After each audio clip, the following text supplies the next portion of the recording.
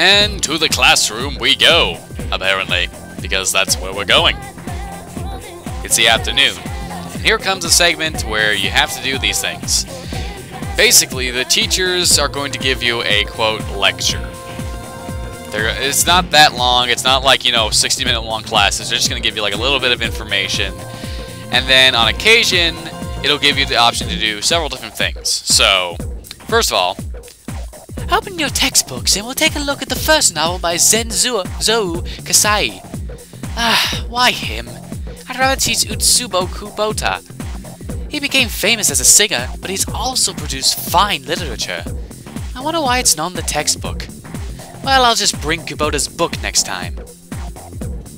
Hey, Junpei, were you listening? Who did I say was my favorite author? huh? Um, Psst, who, who did you like? It's Su Su. It's not that hard. If you were reading, you should be able to get this answer right away. That's right.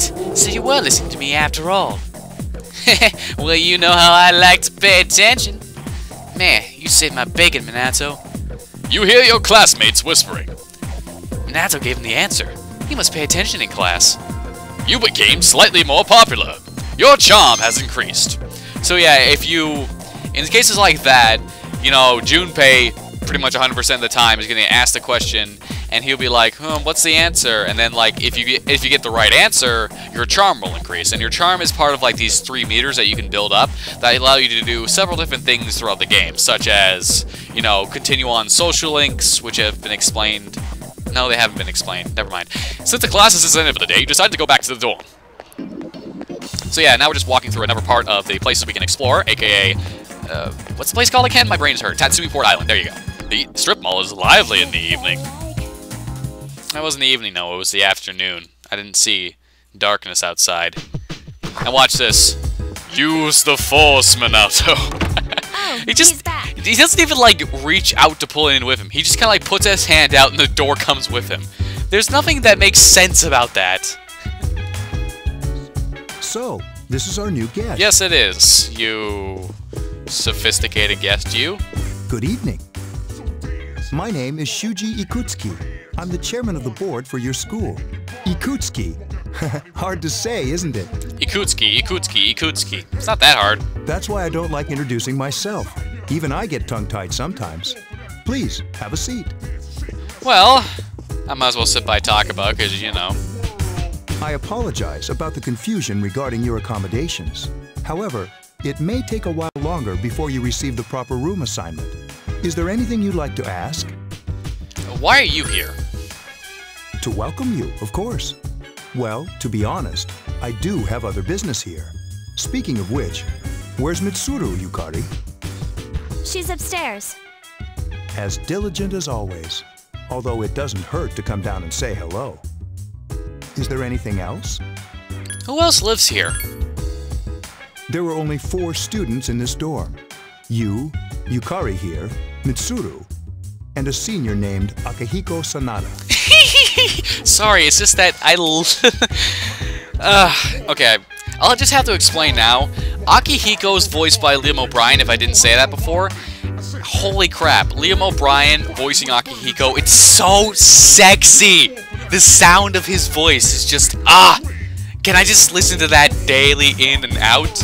And plus, like, Akihiko's personality overall in the game, it's just like, I love it. It's just, he's a great character. In this otherwise, like, subpar, in my opinion, in this, in this otherwise, like, subpar cast of characters, he's, like, godlike. I, I love him. I Not hope you all get along.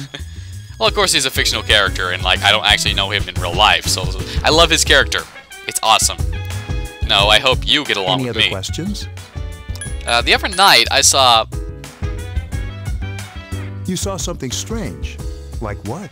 I don't know, uh, she kind of had a gun to my head? Or was going to put a gun to my head? You were probably just tired. I wouldn't worry about it. I love that. She just, I just like, she had a gun to my head, and then it's just like dot, dot, dot, dot, dot with that face of hers. Something doesn't seem right. Do you have another question? Nope, I'm good. Then I hope you have a successful school year. And I hope you die. Now, if you'll excuse me. You must be tired from all the excitement. You should go to bed early. As As No, they you. say, the early bird catches the bookworm. Please forgive the pun.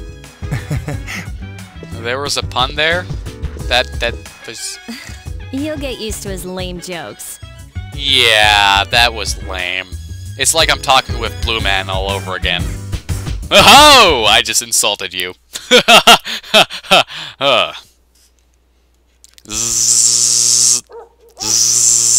Because that's what's going out of your brain. Zzz. Some Z's, or if you're Canadian, Z. Actually, if you're anywhere Working but hard. America, sorry, I'm getting, I'm talking over the dialogue. If you're anywhere but America, it's Z. So, how's he doing? He went to bed a little while ago. He's asleep now. Mr. Chairman, do you think he's... Well, let's wait and see for now. The dark hour is approaching.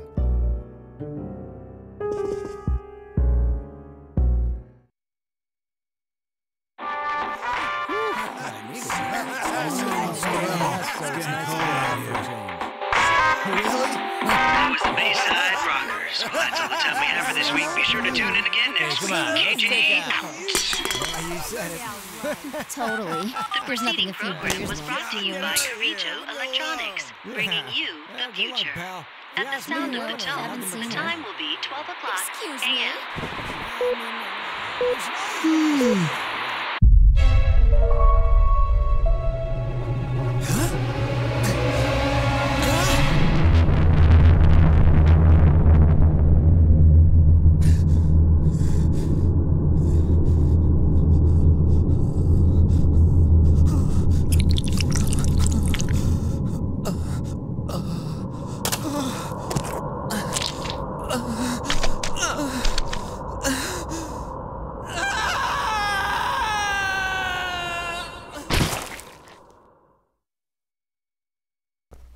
a.m. What?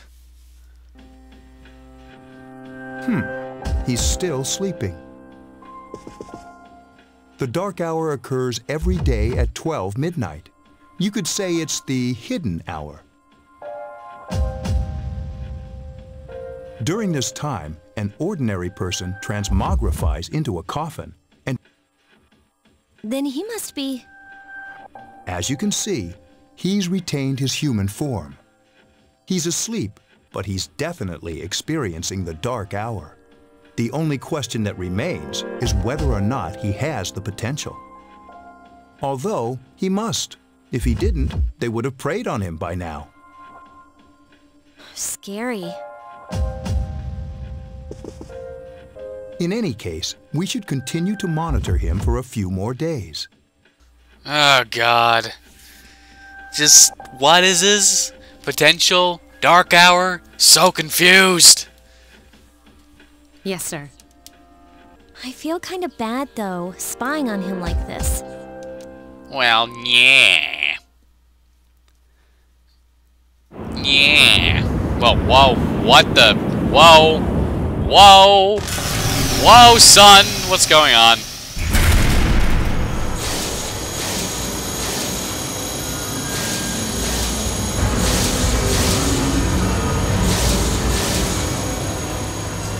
Welcome to the Velvet Room, my dear young man.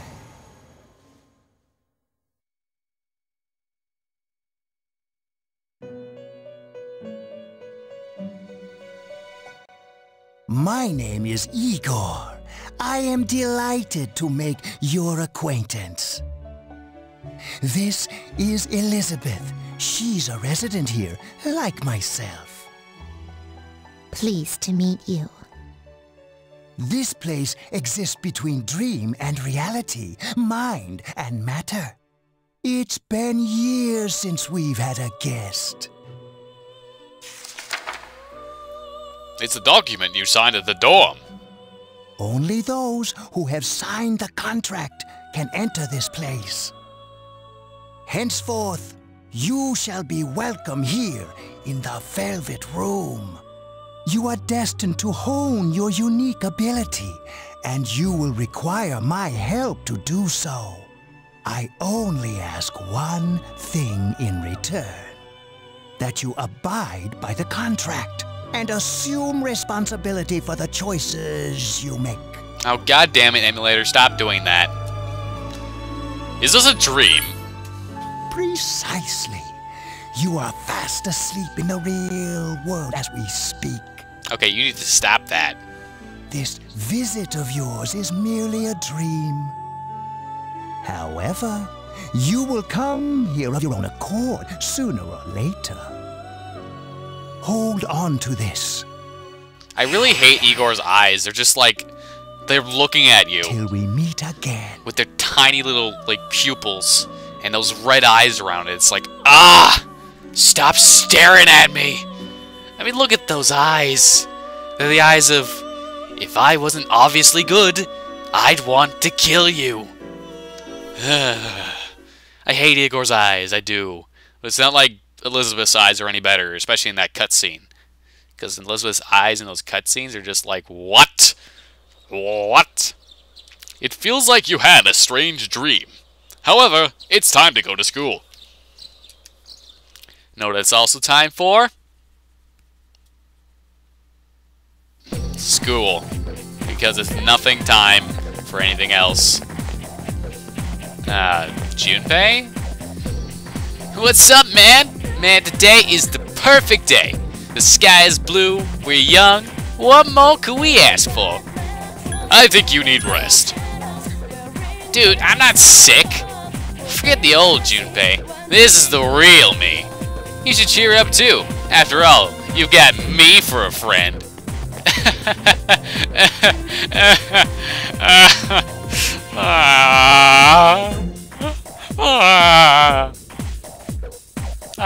I don't. Ah.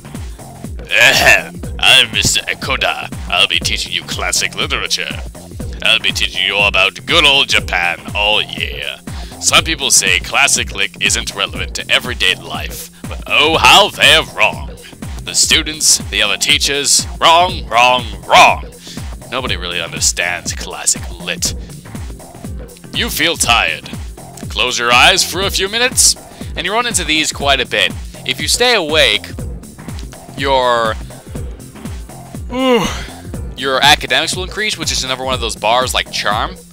But if you go to sleep, your physical status, aka if you're like feeling good, sick, tired, etc., that'll go up for whatever it is to something. I believe it'll go up to great, which is the highest possible thing. But you see, when it comes to a specific point later in the game, that's also going to harm you. So stay awake. Hey, are you all listening to me? Wake up, children. Now open your textbooks. First on our syllabus is Issei Monogatari, the origin of Japanese literature. It's a very interesting story. You youngsters might call it Da Bomb. Ugh. I can tell you people are zoning out. You stayed up and listened to the lecture. Your academics have increased. And I won't be doing those anymore because they happen a lot. Ah, like a lot they happen. It isn't, it isn't even funny how much they happen. You decided to go home with Junpei.